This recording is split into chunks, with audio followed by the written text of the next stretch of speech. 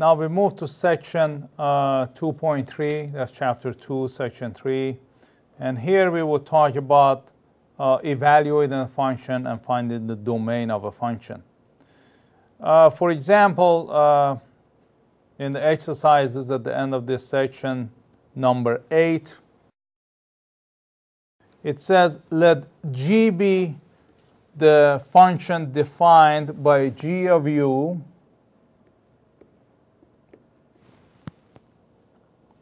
equal to parenthesis 3u minus 2 to the 3 half. And then it says find g of 1, g of 6, g of 11 third, and g of u plus 1. So first, g of 1.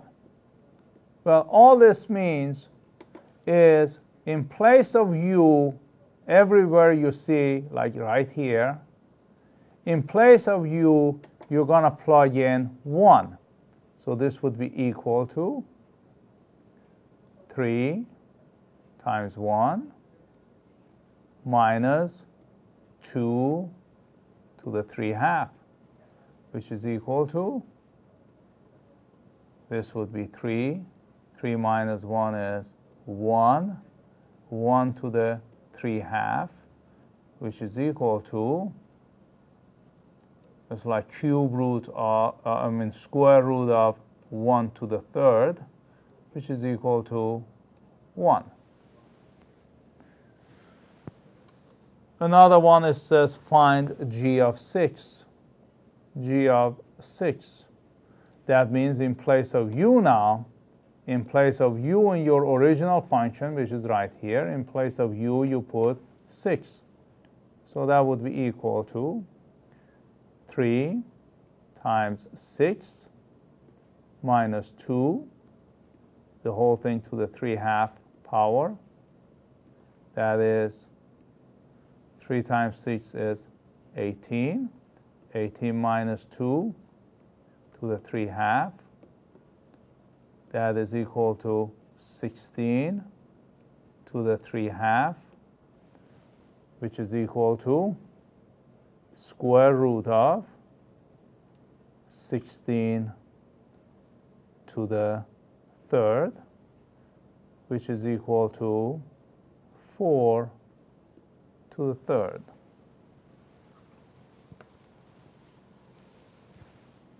which is actually 64. Next one says find the g of 11 third.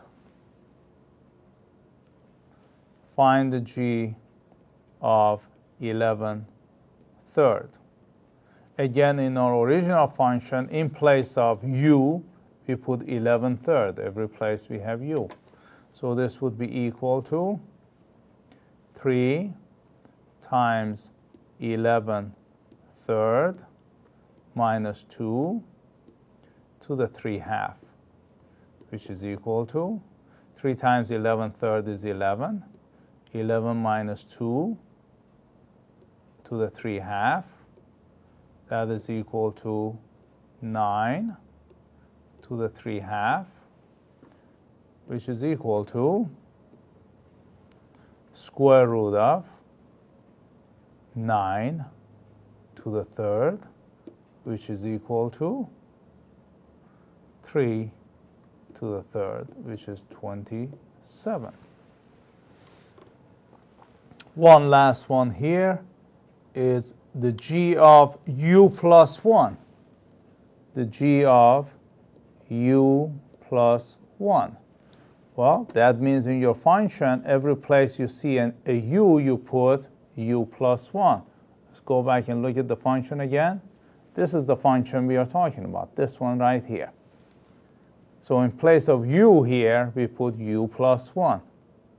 So it would be equal to, equal to, parentheses, 3 times u plus 1 minus 2 to the 3 half, which is equal to 3u plus 3 minus 2 to the 3 half, which is equal to 3u plus 1 to the 3 half. We cannot take it any further. That is the answer. That is problem number 8. We're going to do problem number 34, I believe that's what we had. Problem number 34 in this section also.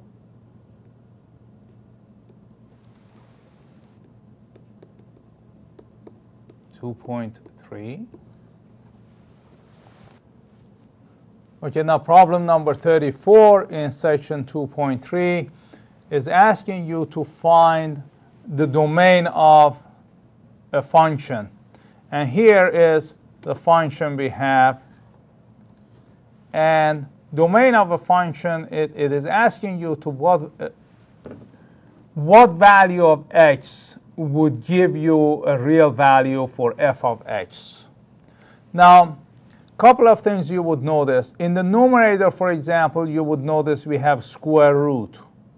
And as you know, under the square root, we cannot have a negative number.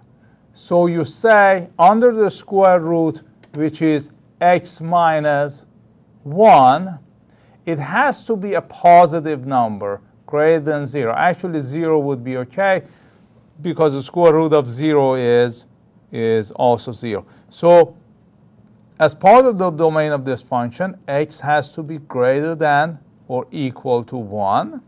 That's 1. Now here we have a denominator. We have a denominator. This is a quotient with a denominator.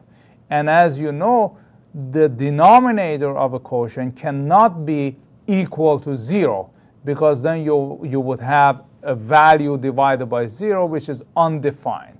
So what you are saying is uh, you say x, well let me change the color here and go back to black. So you say x plus 2 times x minus 3, okay, cannot be, we can do that, cannot be 0.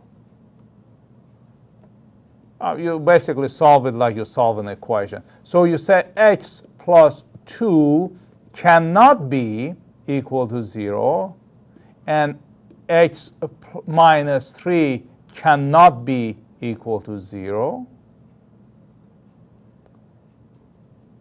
So here would be x cannot be equal to minus 2.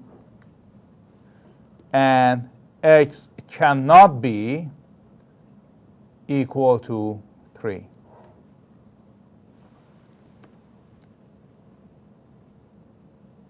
So on the one hand, this problem says x has to be greater than 1. So when x is greater than 1, basically this, the answer here is irrelevant because that doesn't, that doesn't, uh, a, a, negative number does not, uh, does not apply. x cannot be negative. And here x greater than, x cannot be equal to 3 so anything above 1 and equal to 1 except for 3 would be part of the domain of this function. That's number 34. Let's go to another problem in this section 2.3, number 60, number 68. Again, this chapter is talking about domain of a function and evaluating a function at certain point. Number 68 says rising median age, increased longevity and the aging of the baby boom generation, those born between 1946 and 1965, are the primary reasons for a rising median age The median age in years of the US population from 1900 to 2000 is approximately, or is, it is approximated by the following function. f of t, let me see, this is number 68. f of t, which is the median age, is defined as a three-piece function. One is 1.3 t plus 22.9. Now this is if x or if t is greater than equal to 0 and less than or equal to 3. This function would be defined differently, specifically minus 0.7 t squared plus 7.2 t plus 11.5 if t is greater than 3 and less than or equal to 7 and it would be defined as 2.6 t plus 9.4 if t is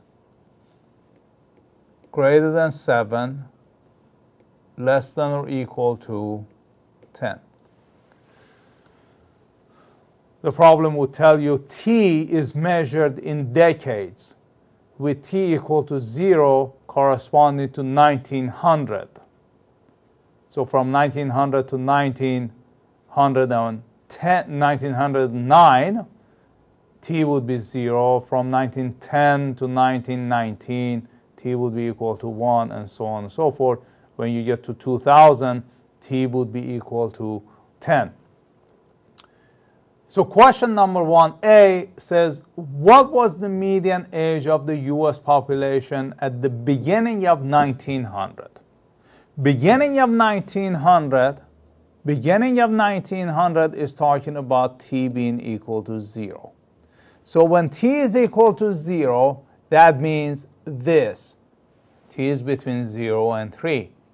So we have to use the first function, and we say f of 0 is equal to 1.3 times 0 plus 22.9. Therefore, f of 0 is equal to 22.9. This is the median age. This is the median age in 1900, 22.9 years.